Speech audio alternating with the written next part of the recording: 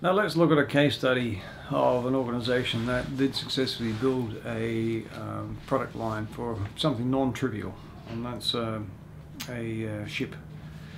Now Celsius Tech, um, so specifically Celsius Tech AB, uh, based in um, Sweden. They'd long been known as the leading supplier of control systems, mostly um, uh, in defense type systems, military systems. Um, they they one of the yeah they're one of the group that includes Kockums and um, Bofors and um, uh, Aerotech things like that. Now at the time of developing the systems, Celsius Tech was composed of three companies. We had Celsius Tech Systems, which is advanced software systems. We had Celsius Tech Electronics, defense electronics, and we had Celsius Tech IT, information technology systems. So they had three different uh, divisions, if you wish, all developing IT. Now, it employed approximately 2,000 people and had annual sales of 300 million US dollars. So, Celsius Tech uh, is a uh, IT software developer type system. It, it, wasn't as if they built the ships themselves, but they had a, a system. Now the main site is near Stockholm with subsidiaries located in Singapore, New Zealand and Australia, which is not surprising because Australia built one of those things. The Ship System 2000, which is where this product line uh, was established.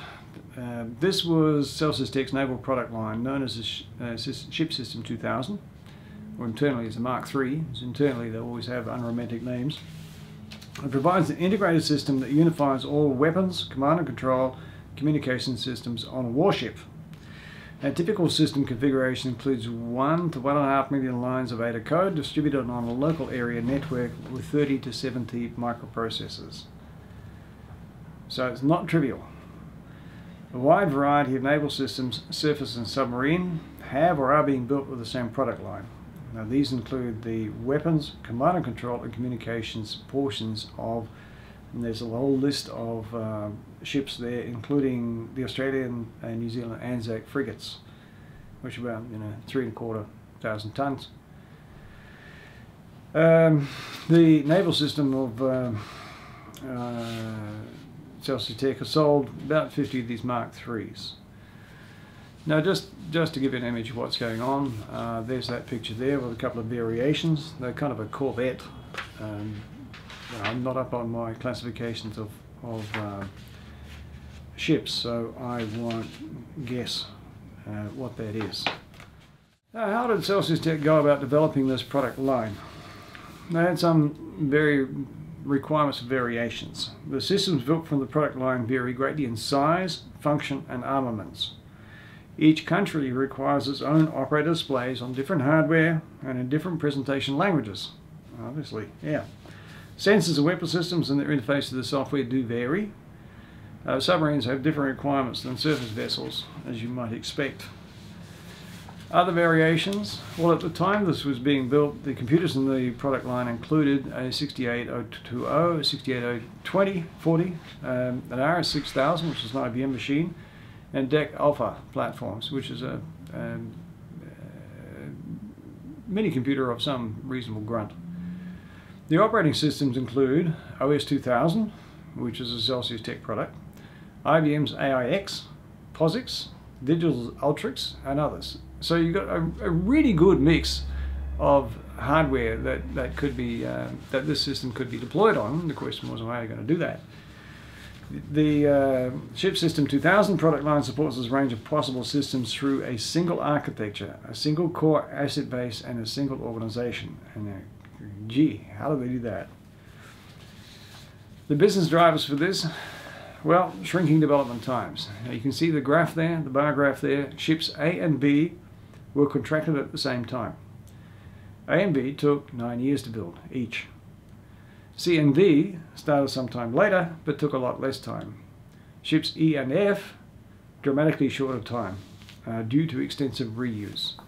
So it took nine years to get the first two out the door and things reduced dramatically after that to the point where it looks as if the last couple can get out the door in about 18 months.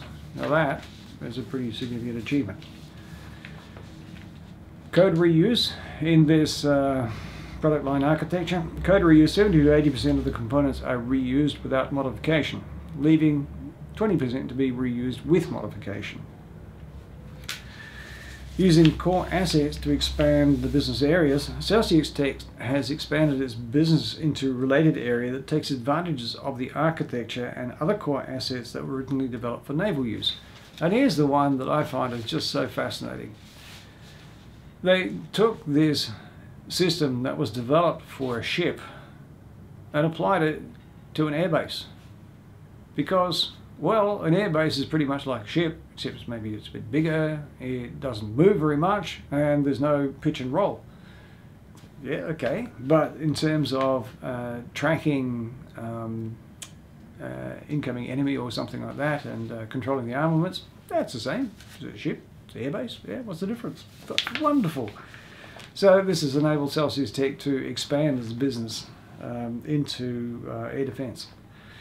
Because of the flexibility of the Ship System 2000 architecture and product line, Celsius Tech was able to quickly build this streak, the uh, air defence, lifting 40% from 40% of all the um, code assets straight from the Ship System 2000 uh, system. This demonstrates one of the feedback links to the ABC. The existence of the Ship System 2000 product line and its architect, architecture enabled new business opportunities.